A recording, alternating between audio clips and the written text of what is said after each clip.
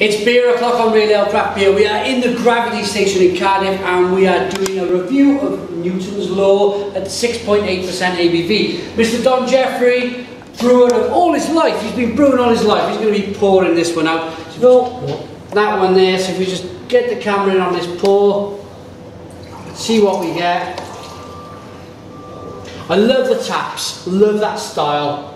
Very industrial, it's very Cardiff. Cardiff is an industrial city, um, big industry, and this just kind of smacks that, doesn't it? It smacks industry at you when you just got a tap of beer. Well, there we go. Yeah, brilliant.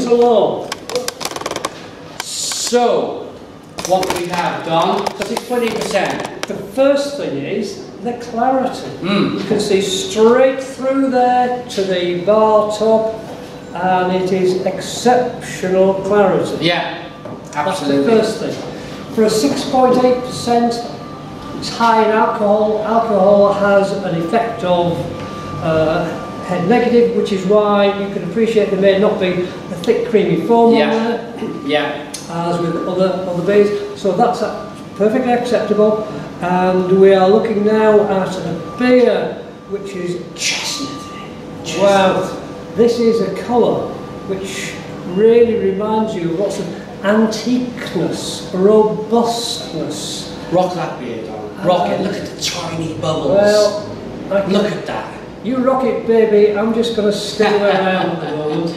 Uh, Tiny bubbles. Smaller the bubble, the better the beer. that suggests it, as you can see in there, there is a degree of carbonation on there which you'd normally associate with cask conditioned beer, which it is, which is about 0.91 volumes, which is about 2 grams per litre for, for the uh, The beer professionals out there, the home brewers. and- Because this is uh, traditional cask conditioned beer, but you can still see the condition in there, which Yeah. is good. Absolutely. Aroma. Try the aroma. It's vinous. Very uh, vinous quality to the beer, and that's a good quality for me. I like it. Port-like, Mm. sherry-like, Mm. Yeah. which is typical of a, um, a beer of this ABV. Loads of fruits. Kind of mysterious forest fruits. And because it's 6.8 ABV, it's the sort of beer that you, like Belgian beers, you need to treat with respect. Yeah. It's not necking beer, it's uh, a beer that you need to associate with a, a nice evening where you're tasting the beer and it is uh, um, full of flavour, absolutely bursting with flavour. But we haven't even tasted it yet. Let's dive in. Let's get the taste.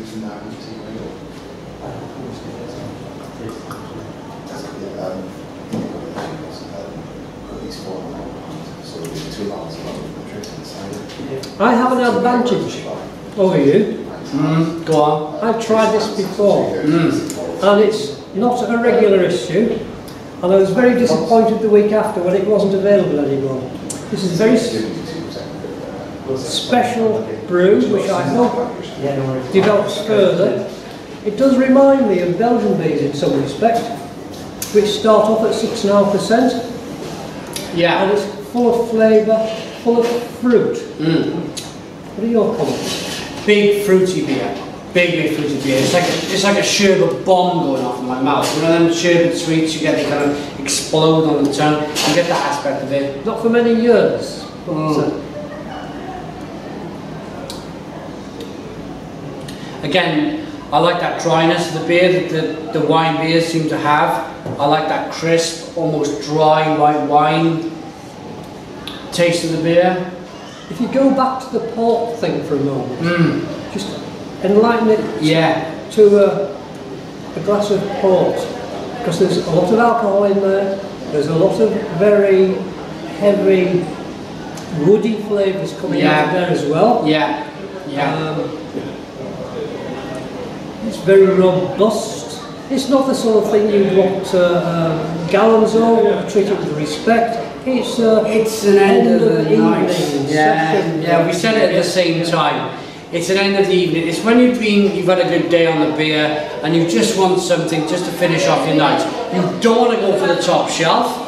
Um, you want to stick to the beer, so this is a little stronger. At 6.8% ABV. So it just kind of finishes your night. It gives you that nice ending quality to your evening. Talking about ending, there is a lingering effect there. I don't know whether you've noticed it there. There is a, a lingering bitterness, but there's a lingering pepperiness as Mm. well.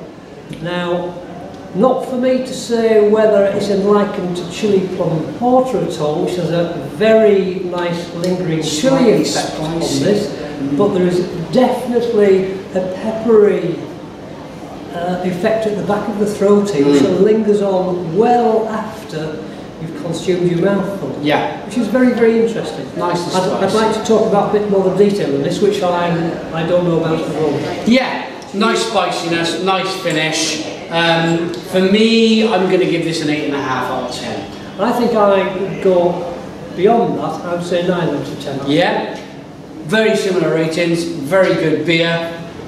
This is Newton's Law by the Waen Brewery, 6.8% ABV. Thanks for joining me, Mr. Don Jeffrey. Get you what he can while stocks last. Yeah, yeah, it's going to be running out soon. But I'm sure Mrs. Suhay will be, will be brewing this again soon. Cheers. Cheers, thank you very much.